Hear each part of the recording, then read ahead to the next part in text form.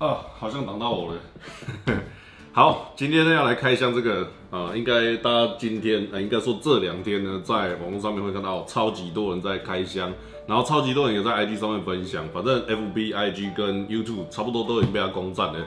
只要跟电玩有关系的啦，一定都有它，一定都有它。然后包括跟三系有关系的，也一定会有它。因为这个 PS5 的魅力呢，我相信真的是无法挡的。那今天除了这一盒以外呢，另外我还要买的三片游戏。那 NBA 2K21 呢，是我在 Switch 上面有买它的版本，这次又买的啊一般版 PS5 的版本。然后包括这个非常厉害的决胜时刻、黑色行动、冷战、蜘蛛人啊，这个不用讲，因为我自己是漫威迷，而且之前的 PS4 Pro 那一片蜘蛛人呢，我也破关了。另外我还要买了一个比较特别的是，比较少人会看到有开箱的东西吧。不过遥控器我不知道会不会用到啦。这个等一下我们再来聊。主机呢，其实说大台嘛，好像实际拿了也没有到非常的大台，因为这台主机啊，其实它的重量，我个人觉得啦，还是原输 Xbox 一大截哦。至于在跑的部分呢，目前为止我让它在传输档案啊。对了，还有一些我们刚才跟美美开箱的画面来分享给大家一下。美美，这台是什么？你知道吗？不知道。不知道哦，这台是新的电动游戏机。按起来怎么样？这个会闪啊！会啊，插电就会闪啊。他说会闪吗？妹妹，你看这手把漂亮吗？好重哦。很重啊。对。那跟 Switch 的手把拿起来，哪一个比较重？嗯嗯，新的比较不要新。新的比较新哦。嗯嗯，新的比较重重。新的比较重啊。嗯。啊，真的吗？真的。电动要出来了。我最喜欢玩电动了。真的吗？真的。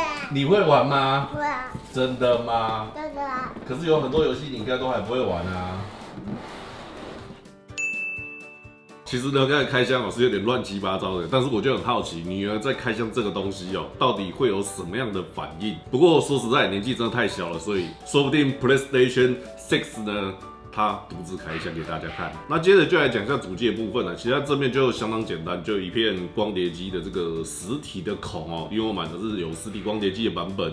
另外呢，它有一个 USB A 的插槽跟一个 Type C 的插槽，只会只留一个 USB A。那如果买两只手把怎么办？啊，其实可以接后面。正面的这个 Type C 的插槽的话，也是让我蛮好奇的，因为可能对未来的扩充哦会有相当大的帮助。毕竟它的速度哦是更加快的。背面呢，总共有两个 USB 孔，然后一个 HDMI，包括一个 R J 四五的网络接口啊，还有一个电源口。下面呢，则是可以锁上一个支架，这个支架再放起来啦，会比较安心一点。因为之前有人讲到说，它的这个。旁边的脚啊，如果说坠地的话，很容易可能就坏掉。你多了脚架之后，整个支撑性来说的话，我是觉得还不错的。其实现在在等那个资料传输，它真的要蛮久的。我总共传了一套游戏跟我的一些记忆的档案，从 PS4 传过去。这个传输的方式呢，就是你把两台主机都开机之后，然后连接在同一个 WiFi 网络，他们就可以直接传输了。那目前为止还在等它。等一下呢，我们就来玩一下游戏吧。好了，那么实际的硬体规格之类啊，在这支影片哦就不会说太多。然后呢，相信八 K 跟四 K 一百二十赫兹的啊，应该也是大部分的玩家在这个时候都不会体验到的。所以呢，心得也会用一零八零 P 跟四 K 的体验来分享。首先最有感的就是网络的下载速度变快了。不过因为游戏啊越来越大，所以还是得要花上一段时间。那这个部分还是需要路由器啦，跟家里面所申办的网络速度哦要有所搭配，才有办法使用到。那我一样在无线 WiFi 的连接之下啦，使用 PS4 Pro 呢，跟 PS5 啊下载起游戏的更新档，感觉速度上就是有差了。第二个呢是主画面的科技感啊，我个人觉得哦也是相当不错，但是我还是觉得它跟 S 八十 C V S 啊有那么一点点相似的感觉。虽然说呢细节上来说有一点点差异的，但我就觉得这样一块一块的样子啊，看起来是蛮像的。但是这一次呢，从主画面的部分啊，其实就已经可以很强烈的感受到 PS5 呢它优异的画质表现了。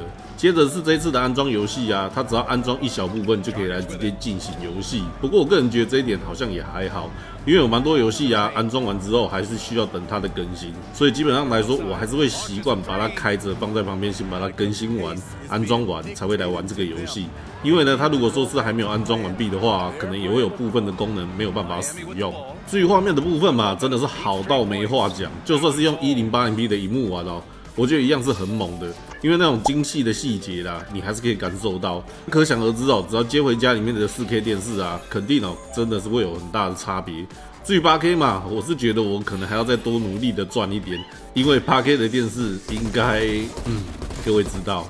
所以近期的我呢，应该也是会以一零八零 K 跟四 K 的荧幕呢来玩这样子的游戏哦，体验分享心得给大家。之后呢，看看有没有机会啦，再来用用看四 K 一百二十赫兹的荧幕玩玩看，这样子的差别呢到底会有多大？接下来呢，PS Five 当中啊有附了一个 Astro Playroom 这个小游戏。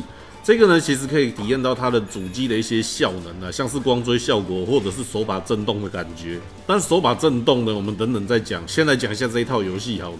说实在的，我真的觉得它跟 One Two Switch 非常非常的像。为什么呢？因为这两套游戏啊，其实都是在让大家体验到整体的主机效能，还有它的一些创意的感觉。虽然我一直觉得，如果有机会的话，哎，人家是不是也可以把这个万度 Switch，用一个很便宜的价格，甚至呢是可以直接内建在游戏机里面。因为我觉得这样子的一款游戏啊，其实在玩之后，你才会发现到这台主机啊，原来有这么多特色可以发挥。那也可以在玩其他游戏的时候啦，可以有一层更深的体验。那这次的 PS 五呢，手把的震动感啊，我觉得是最厉害的地方的。因为喷射的时候呢，会有连续的轻微震动；走路的时候呢，像是在走一些木头吊桥啊，只要那个木头有一条一条的，会有微微震动的感觉。每走一格呢，就有一种被敲击到的样子。它的模拟呢，不只是很立体的震动感，而是会有敲击顿点、连续又细微的震动幅度。而且更猛的是 L2 跟 R2，因为这两颗呢会依照不同的游戏哦，有不同的力度回馈。像我在玩决胜时刻呢，L2 这个瞄准啊就会变紧，而且是连续的变紧。然后 R2 呢力道会变成很像模拟扳机的感觉。在压的时候呢，会有一小段阻力，但是接着压到中间过后啊，就会变成比较松，可以直接按到底。这个我觉得真的蛮厉害的，因为不同的游戏啊会有不同的回馈，而左右边呢还可以呈现不同的感受。不过决胜时刻这一套游戏的，我自己是第一次玩哦，也不知道为什么选单人战役呢，一直遇到游戏错误，然后也连不上网络游戏的部分，该不会是我遇到什么样的 bug？如果说你也有玩这一套的，也欢迎你分享经验给我。基本上呢，整体的画质真的是非常的棒，重点呢是棒的还很顺畅。像是 NBA 二 K 系列啊，有时候在转画面哦，那种顿一下的感觉，在 PS 五上就完全感受不出来。加上进游戏时的 loading 呢，也是加快不少。而且这么威猛的效能啊，主机发出来的散热声呢，也没有很大。我玩了两三个小时哦，关机过后，主机四处给它摸一摸，也只有顶多一点点温温的感觉。然后呢，我又拿了等了很久的 PS4 版本的战锤混沌货源来玩，因为这款游戏呢，之前在 PS4 Pro 啊，只要玩到后面。我的技能放多一点的话，它就会卡顿很严重。可是这次在 PS5 上面玩的，它就可以很顺利的执行。不过字体倒是有一点点被挤压到，就是的。画面的部分也可以让大家来参考一下啊。最后是我买的那个遥控器，它真的算蛮方便的，只要对着主机按哦，就可以把它当成一台串流的影片或音乐播放器。但前提呢是要把主机里面的 HDCP 给开启。主要呢，应该就是要防大家侧录有版权的影集等等的啦。那这一点呢，对一般玩家应该没什么大碍，但对我们这些要录画面剪辑的人来说呢，就会稍微麻烦一点。不过整体来说啊，如果说你家里的电视或者是电脑呢，没有办法直接看 YouTube 或 Netflix 的话，用这个就会非常的棒，因为相当方便，一边玩游戏一边追追剧，哇，这个完美，太完美了。总而言之呢，这台 PS 五到底值不值得买哦？我是觉得还蛮值得的啦，因为我之前那台电竞笔电呢，买了三万五，玩个 CSGO 这一种的，只要接个外接荧幕，开个解析度高一点啊，就会变得稍微慢一点。而且那个早期的显示晶片哦，更不用说什么光追效果了。有一些更吃效能的游戏呢，要特效全开啊，在外接起大荧幕来玩呢，真的就会有非常大的难度。所以以这台一万五千多的主机来讲，能把游戏跑成这个样子，真的非常厉害。有机会可以买到主机的话啦，又搭配得到自己想玩的游戏呀，我觉得就可以考虑来入手一下。至于 bug 的部分，或者是其他想测试的，嗯，应该等到之后呢，我会来慢慢测试，甚至慢慢分享给大家。那今天简单分享的部分呢，就差不多到这边结束了。喜欢我的这些影片的啦，也记得帮我订阅一下频道，并且开启小铃铛。